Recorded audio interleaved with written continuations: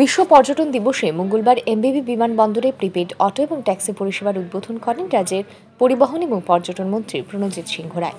অনুষ্ঠানে মেয়র দীপক মজুমদার এবং বিধায়ক দিলীপ দাস সহ পরিবহন দপ্তর এবং পর্যটন দপ্তর সহ আরক্ষা দপ্তরের কর্তা ব্যক্তিরা এবং শ্রমিক ভাইরা উপস্থিত ছিলেন। প্রিপেড এই পরিষেবা চালু হবার ফলে তার সুফল পাবেন সাধারণ যাত্রী থেকে শুরু করে রাজ্যে আগত পর্যটকরা। নিজের বক্তব্যে রাজ্যের পর্যটন শিল্পের এই সম্ভাবনার দিককেই তুলে ধরেন পর্যটন এবং পরিবহন মন্ত্রী। জানান, ছোট্ট রাজ্য হলেও ত্রিপুরায় পর্যটন শিল্পের বিকাশ দ্রুত গতিতে হচ্ছে এবং এক্ষেত্রে এই প্রিপেড পরিষেবা যাত্রীদের ভীষণভাবে উপকৃত করবে। আজকে দিনটি একটা অন্যতম দিন। কারণ পরিবহন কমিউনিকেশন যদি পর্যটনকে উন্নতি করতে হয় কমিউনিকেশনকে বাড়তি হতে পারে। ইট ইজ রিলেটেড এক অপরের সঙ্গে ঠিক আজকের দিন সাতাইশে সেপ্টেম্বর, বিশ্ব পর্যটন দিবস আজকের দিনে। সারা পৃথিবীর সঙ্গে রাজ্য আমরা পর্যটন দপ্তরের উদ্যোগে সকাল ছটা থেকে বিভিন্ন কার্যক্রমের সাথে আমরা যুক্ত আছি। ভাবনা একটাই এই রাজ্য ছোট্ট রাজ্য হতে পারে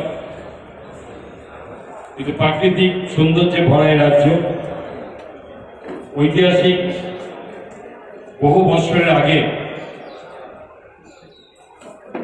বহু এখানে আমাদের অনুকূলি থেকে শুরু করে মানুষ এখানে আসে দেখার জন্য।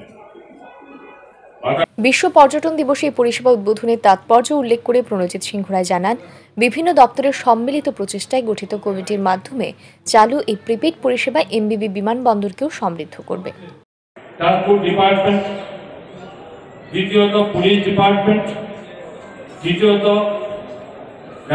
এয়ারপোর্ট ডাইরেক্টর, চতুর্থত ট্যুরিজম ডিপার্টমেন্ট, পঞ্চম ডিস্ট্রিক্ট অ্যাডমিনিস্ট্রেশন। এই পাঁচটা, পাঁচটি দপ্তরের সমস্ত প্রতিনিধি নিয়ে এই প্রিপেড অটো পরিচালনা কমিটি সৃষ্টি করা হয়েছে। অনেকে প্রশ্ন থাকতে পারে, যে এত দপ্তর কেন? কোনো কাজ করার আগে, সরকার যদি কোনো কাজ করে, করার আগে বিভিন্নভাবে বিচার বিশ্লেষণ করতে হয়। সরকারের কোনো সিদ্ধান্ত যাতে মাঠ পথে না আটকে যায়। বাবা ঠিক করে কোনো কারও পথ বিপক্ষে না যায়। সেই জন্য সরকারকে অনেক চিন্তা ভাবনা করে একটা সিদ্ধান্ত নিতে হয় ওইটার জন্য আমরা নিয়েছি, কোনো রকম সমস্যা থাকবে যাতে সঙ্গে সঙ্গে তা সুরা হয়।